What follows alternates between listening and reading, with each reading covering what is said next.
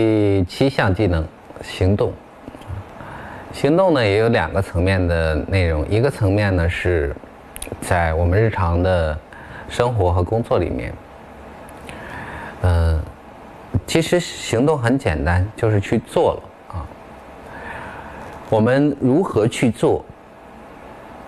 做成什么样，在达成什么样的标准，啊，在什么时间做完，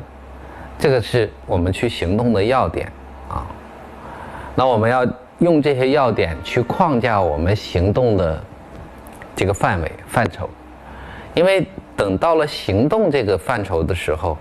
我们就不能发散了，不能去啊有过多的探索性的部分，因为行动是带来结果去验证我们的方案的部分，在沟通的过程中的行动，沟通的过程中。我们的行动其实是为了拉近关系的部分，啊，是拉近关系的一个具体的实现，啊，比如说在我们脂肪沟通里面，我们提到，哎，那最后那个环节就是行动，啊，行动就是什么时间在什么地方去做什么事情，在沟通的过程中，我们经常有些人会说一些事情。然后做的时候就会做另外一些事情，这个是要我们注意的，就是我们要说的和做的一致，这样我们才会建立起信誉，建立起信任。你自己有了信誉，别人才会更加的信任你。特别是一个长期的关系啊，相对长期的关系，比如说合作伙伴，你跟合作伙伴之间，它就是一个长期的关系。然后一起去达成这个目标，它也相对是一个比较长期的部分。那你就需要你的说的和你做的更多的是一致的，否则你的信誉就会丧失掉，别人对你的信任、信心就会降低。啊，这个是在沟通过程里面的行动，它不单单是为了拉拉近关系，也是为了创造信任啊，更好的践行信任。而在教练环节里面的这种行动，是我们支持客户的一个非常重要的落脚点。我们支持客户去发生改变。一开始的时候，他可能是动力十足、激情、激情奋昂啊，非常的有有动力。然后这件事情可能做十天就没有动力了，就丧失掉了动力。我支持很多客户啊，很有意思。比如说，他们要养成早起的习惯，早晨六点起床啊。那一开始的时候，他自己非常的兴奋啊，每天起来之后，然后在一些地方去分享，在朋友圈里去分享他几点起来了啊，啊啊，甚至要分享他一开始起来之后做了点什么。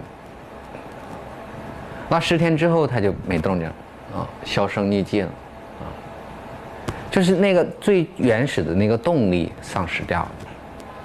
那个激情、好奇的那个部分消失掉了，所以这个时候就需要我们教练以及我们去帮他构建环境，更好的支持他的行，支持他去行动啊，让他养成一个初步习惯，然后再巩固这个习惯，最终让他成为内化成他。身体当中的一个部分，养成一个习初步的习惯，我们前面有说到二十一天，巩固一个习惯一百二十天，内化成他的一个技能一千天。那在这个过程里面，我们要去要要去支持一个人去发生变化，那最起码要二十一天这样的一个初步的周期，啊，比较理想、比较合适的。是至少是四个月啊，那如果能够更长的，就是一千天、三年的这个时间是比较理想的，支持一个人发生一个一项内化一项能力的这种变化，是需要这样的一个周期的。而在这个过程里面，也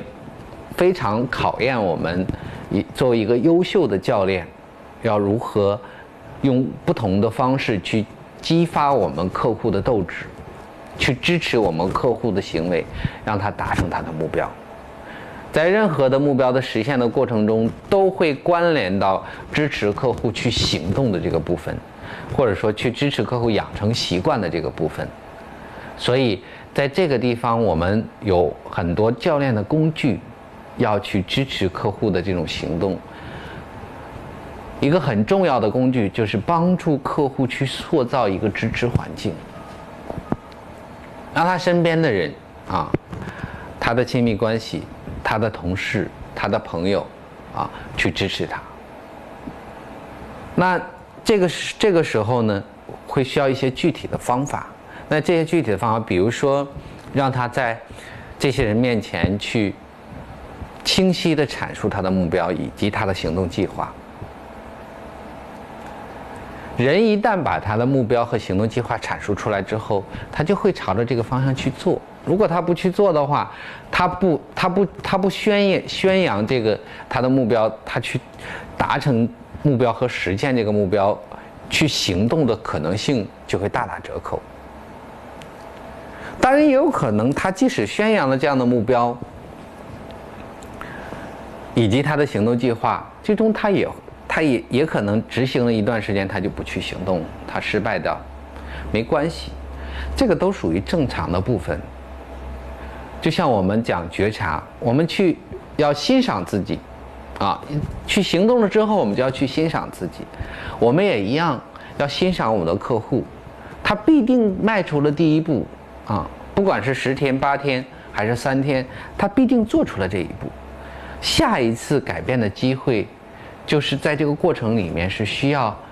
下一次行动的机会，就在这个过程里面是有新的激发点。啊，或者是说它更清晰的目标拉动而产生的。